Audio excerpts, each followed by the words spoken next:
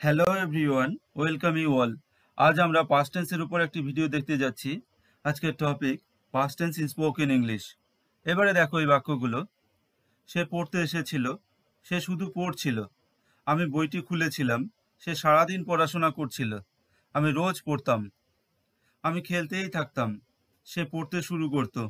আমাকে পড়তে হয়েছিল, সে পড়তে পারেনি। আমি তো পড়েছিলাম। এই ধরনের বাক্যগুলো পাস্ট রয়েছে। স্পোকেন ইংলিশে তো এই ধরনের বাক্যগুলো আমরা খুবই বলি। এই বাক্যগুলো যাতে আমরা ভালো করে নির্দ্বিধায় বলতে পারি, তার জন্যই এই ভিডিওটি। আমরা শুরু করছি সিম্পল পাস্টেন্স দিয়ে। আমরা জানি বাক্যের শেষে যখন ল, লাম, লে থাকে, যেমন ছিল, ছিলাম, ছিলে, তখন আমরা সিম্পল পাস্টেন্স ইউজ করি। সিম্পল পাস্টেন্সের যে সেন্টেন্স স্ট্রাকচারগুলো রয়েছে, সেগুলো আমরা ব্যবহার করি। এবার দেখো সেন্টেন্স স্ট্রাকচারগুলো সাবজেক্ট প্লাস ভি টু ভার্বের পাস্ট ফর্ম ভি টু বলতে ভার্বের পাস্ট ফর্ম তারপর দেখো সাবজেক্ট প্লাস ডিড নট তারপর হচ্ছে ভি ওয়ান যখন হচ্ছে নেগেটিভ সেন্টেন্স তৈরি করব।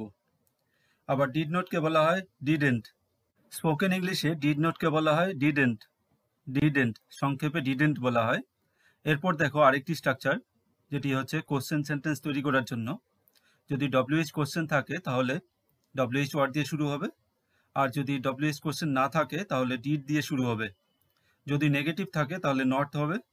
এরপর সাবজেক্ট প্লাস ভি ওয়ান এই তিনটি স্ট্রাকচার জানা থাকলে কিন্তু তোমরা সিম্পল পাস্ট টেন্সে বিভিন্ন সেন্টেন্সেসগুলো তৈরি করতে পারবে। এবার দেখো সেন্টেন্সেসগুলো প্রথমটি হচ্ছে, সে পড়তে এসেছিল। তাহলে আমরা প্রথম স্ট্রাকচারটি ইউজ করব।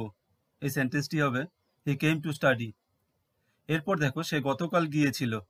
হি ওয়েন্ট ইস্টারডে আমরা সেখানে যাইনি। এটি হবে দ্বিতীয় স্ট্রাকচারটি দিয়ে, যেহেতু এটি negative sentence we did not go there অথবা উই ডিডেন্ট গো দিয়ার সে কি সেখানে গিয়েছিল? এটি হবে তৃতীয় স্ট্রাকচারটি দিয়ে, যেহেতু এটি ইয়েস নো কোশ্চেন তাই ডিড দিয়ে শুরু হবে। ডিড হি গো দিয়ার কেন তুমি গিয়েছিলে? এটি হচ্ছে ডব্লিউএস কোশ্চেন তাই এই সেন্টেন্সটি হবে হোয়াই ডিড ইউ গো সে কি যায়নি? এটি হচ্ছে ইয়েস নো কোশ্চেন কিন্তু নেগেটিভ টাইপ তাই এটি হবে ডিডেন্ট হি গো কেন সে গেল না? এটি হচ্ছে ডব্লিউএস কোশ্চেন কিন্তু নেগেটিভ টাইপ তাই এটি হবে হোয়াই ডিডেন্ট হি গো আগেরটি ছিল জেনারেল রুল এবার দেখো বি ভার্বের জন্য স্ট্রাকচারগুলো একটু আলাদা হবে। এবার বি ভার্বের জন্য দেখে নাও। প্রথম স্ট্রাকচারটি হবে সাবজেক্ট প্লাস ওয়াজ ওয়ার তারপর হচ্ছে সেন্টেন্সের বাকি অংশ। আরেকটি হবে, যখন নেগেটিভ সেন্টেন্স তৈরি করব, তখন সেটি সাবজেক্ট প্লাস ওয়াজ ওয়ার তারপর হচ্ছে নট এরপর সেন্টেন্সের বাকি অংশ।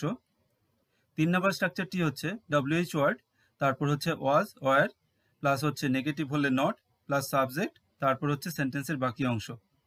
এই স্ট্রাকচারটি হচ্ছে কোশ্চেন সেন্টেন্স তৈরি করার জন্য। এবার উদাহরণগুলো দেখো। তারা বন্ধু ছিল। এটি আমরা বলব এমন করে। দে ওয়ার ফ্রেন্ডস প্রথম স্ট্রাকচারটি ফলো করব। এরপর দেখো, তারা বন্ধু ছিল না। এটি দ্বিতীয় স্ট্রাকচারটি দিয়ে হবে, যেহেতু এটি নেগেটিভ সেন্টেন্স তাহলে এটি হবে এমন করে।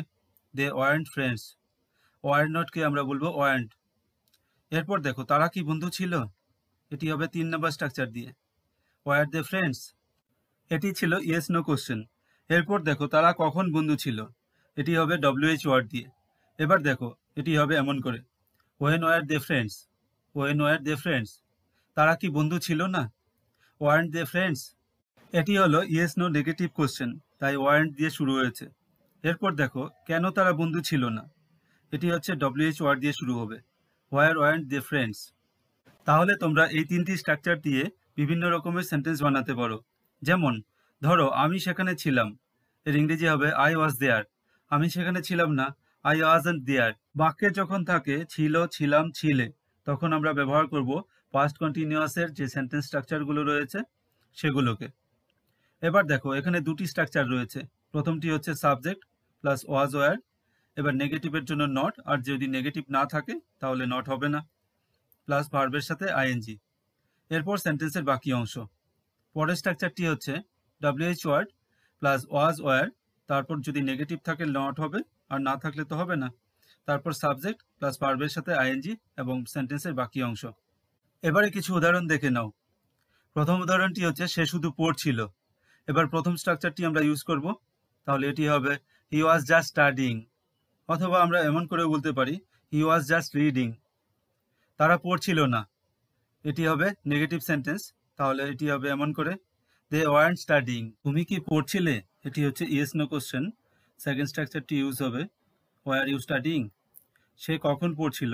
এটি হচ্ছে ডব্লিউএস কোশ্চেন তাই শুরু হবে এমন করে ওয়েন ওয়াজ হি স্টাডিং কেন তুমি পড়ছিলে না? এটি কিন্তু ডব্লিউএস কোশ্চেন কিন্তু নেগেটিভ টাইপ তাহলে এটি হবে এমন করে ওয়াই ওয়ারেন্ট ইউ স্টাডিং তারা কি পড়ছিল না? এটি কিন্তু নেগেটিভ কোশ্চেন কিন্তু এটি হচ্ছে ইয়েস নো কোশ্চেন তাই এটি এমন করে হবে। ওয়ারেন্ট দি স্টার্টিং তিন নম্বরে দেখো পাস্ট পারফেক্ট টেন্স অতীতে ছিল, ছিলাম, ছিলে। এমন বাক্যগুলোর ক্ষেত্রে আমরা ব্যবহার করব। তবে আরেকটি জিনিস ভালো করে মনে রাখতে হবে। অতীতে দুটি কাজ যখন হয়ে থাকে, যে কাজ আগে হয়েছিল তার জন্য আমরা ব্যবহার করব পাস্ট পারফেক্ট টেন্স এবং অন্য কাজটির জন্য আমরা ব্যবহার করব সিম্পল পাস্ট টেন্স এবার দেখো এর স্ট্রাকচার প্রথম স্ট্রাকচারটি হচ্ছে পজিটিভ সেন্টেন্সের জন্য সাবজেক্ট প্লাস হ্যাড তারপর হচ্ছে ভি থ্রি ভি থ্রি বলতে ভার্বের পাস্ট পার্টিসিপল ফর্ম এরপরের স্ট্রাকচারটি দেখো subject plus had and negative সেন্টেন্সের জন্য, তারপর হচ্ছে ভি থ্রি মানে ভার্বের পাস্ট পার্টিসিপল ফর্ম তিন নম্বর স্ট্রাকচারটি হচ্ছে কোশ্চেন সেন্টেন্স তৈরি করার জন্য। ডব্লিউএইচ ওয়ার্ড যদি ডব্লিউএইচ কোশ্চেন থাকে। তারপর হচ্ছে হ্যাড তারপর হচ্ছে নট যদি নেগেটিভ কোশ্চেন হয়। তারপর সাবজেক্ট তারপর হচ্ছে ভি থ্রি এবারে উদাহরণগুলো দেখো। আমি বইটি খুলেছিলাম। এটি ইংরেজিতে হবে I had open the book এরপর দেখো আরও কিছু উদাহরণ। বেল বাজানোর আগেই স্কুলে পৌঁছে গিয়েছিলাম। অর্থাৎ কোন কাজটি আগে হয়েছিল? আমি স্কুলে পৌঁছে গিয়েছিলাম, এটি আগে হয়েছিল। এরপর বেল বেজেছিল। তাহলে সেন্টেন্সটি এমন করে হবে I had reached the school before the bell rang পরের বাক্যটি দেখো, আমি স্কুলে যাওয়ার আগে কাজটি করেছিলাম। তাহলে কাজটি আমি আগে করেছিলাম। তাহলে এর ইংরেজি হবে I had done the work before I went to school পরের বাক্যটি দেখো।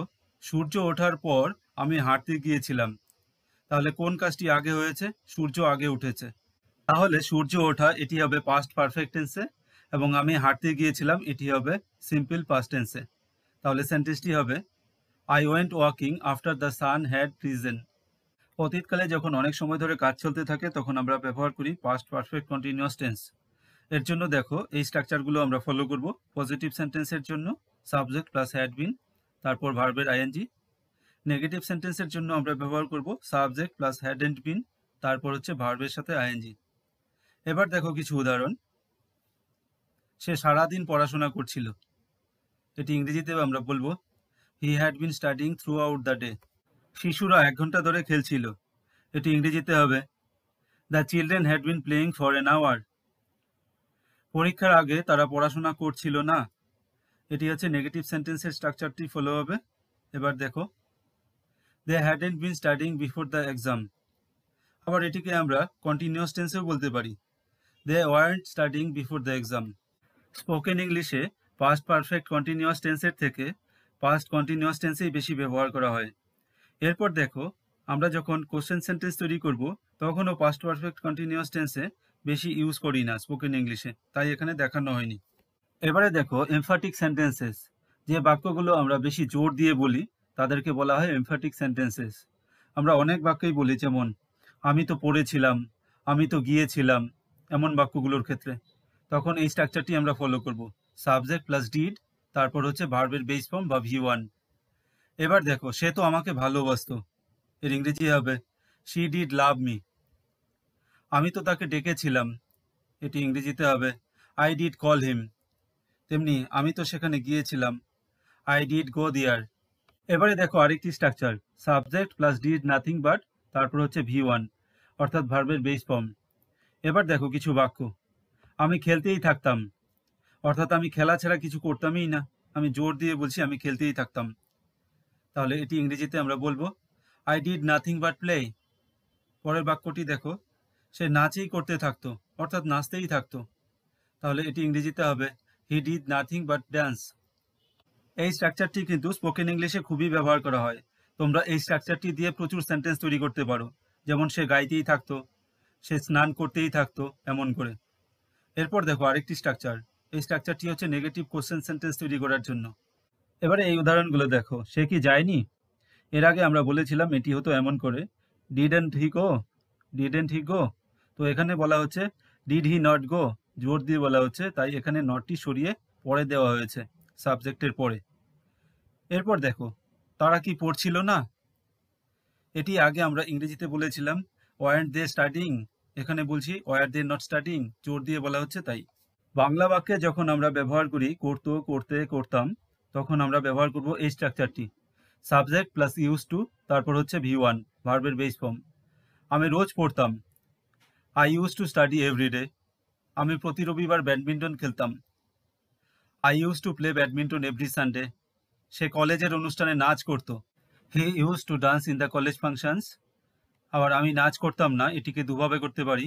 একটি হচ্ছে I use not to dance আরেকটি হচ্ছে I didn't use to dance অতীতকালকে বোঝানোর জন্য আমরা কিছু বাক্য এভাবে বলি, তে থাকতো, তে থাকতে, তে থাকতাম। এর ক্ষেত্রে আমরা ইউজ করব এই স্ট্রাকচারটি। সাবজেক্ট প্লাস কেপ্ট অন এরপর ভার্বের আইএনজি। আরেকটি স্ট্রাকচার ইউজ করতে পারি, একই রকম প্রায়। সাবজেক্ট, তারপর কন্টিনিউ টু তারপর ভার্বের বেস ফর্ম বা ভি ওয়ান ফর্ম এবার কিছু বাক্য এখানে দেখো। আমি পড়তে থাকতাম, এটিকে আমরা বলতে পারি এভাবে আই কেপ্ট অন স্টাডিং অথবা এভাবেও বলতে পারি আই কন্টিনিউড টু স্টাডি কুকুরটি সারা রাত ঘেউ ঘেউ করতে থাকতো the dog kept on barking whole night আমি তাকে ঘণ্টার পর ঘণ্টা পড়াতে থাকতাম। I kept teaching him for hours অথবা এভাবে বলতে পারি I continue to teach him for hours বাক্যে যখন তাকে শুরু করতো, শুরু করতে শুরু করতাম, তখন আমরা ব্যবহার করব এই স্ট্রাকচারটি সাবজেক্ট প্লাস বিজ্ঞান টু তারপর হচ্ছে ভার্বের বেস ফর্ম বা ভি ওয়ান ফর্ম সে সব কিছুতে হাসতে শুরু করতো। এর ইংরেজি হবে he began to laugh at everything সে পড়তে শুরু করত। এর ইংরেজি হবে হি বিগেন টু স্টাডি সে ভিডিওটি দেখতে শুরু করত। He began to watch the video তারা খেলতে শুরু করতো না। They didn't begin to play বাক্যে যখন তাকে দরকার ছিল, তখন আমরা ব্যবহার করব এই স্ট্রাকচারটি। সাবজেক্ট প্লাস নিডেড টু তারপর হচ্ছে ভি ওয়ান ভার্বের বেস ফর্ম যেমন, তার চেষ্টা করা দরকার ছিল এর ইংরেজি হবে হি নিডেড টু ট্রাই আমার সত্যি কিছু চিন্তা করার দরকার ছিল। I really needed to do some thinking কাজটির পর আমাদের বিশ্রাম নেওয়া দরকার ছিল। We needed to relax after the work তাদের খেলার দরকার ছিল না। নেগেটিভের জন্য ডিডেন্ট নিড ইউজ করব। তাহলে বাক্যটি হবে they didn't need to play বাক্যে যখন থাকে, তে হয়েছিল, তখন আমরা ব্যবহার করব এই স্ট্রাকচারটি সাবজেক্ট প্লাস হ্যাড টু তারপর হচ্ছে ভি ওয়ান এবারে দেখো কিছু বাক্য। আমাকে পড়তে হয়েছিল। আই হ্যাড টু রিড অথবা আই হ্যাড টু স্টাডি তাকে তার খাদ্যাভ্যাস পরিবর্তন করতে হয়েছিল। এটি ইংরেজিতে আমরা বলব he had to change his eating habits ব্যাংকের ঋণ শোধ করতে তাদের গাড়ি বিক্রি করতে হয়েছিল। They had to sell their car to repay the bank loan তাকে ধৈর্য হারাতে হয়নি। এটি দেখো নেগেটিভ সেন্টেন্স এটি কীভাবে হবে? এটি এভাবে হবে। He had to lose his patience সবশেষে দেখো বাক্যে যখন থাকে পারতো পারতে পারতাম তখন আমরা ব্যবহার করব এই স্ট্রাকচারটি সাবজেক্ট প্লাস কুড তারপর হচ্ছে ভি ওয়ান আবার নেগেটিভ সেন্টেন্স তৈরি করার জন্য ব্যবহার করব subject plus couldn't plus V one সে খুব ভালো ব্যাডমিন্টন খেলতে পারতো, তো এটি ইংরেজিতে হবে he could play badminton very well আমি সামান্য কিছু খেতে পারতাম, এটি ইংরেজিতে হবে I could just eat a little something সে পড়তে পারেনি, এর ইংরেজি হবে হি কুডেন্ট রিড আমি ভালো রান্না করতে পারতাম না। আই কুডেন্ট কুক ওয়েল এখানে টেন্সের যে গুরুত্বপূর্ণ স্ট্রাকচারগুলো সেই স্ট্রাকচারগুলো দিয়ে সেন্টেন্সেসগুলো তোমরা দেখলে। এবার তোমরা প্র্যাকটিস করো। Thanks for watching have a great day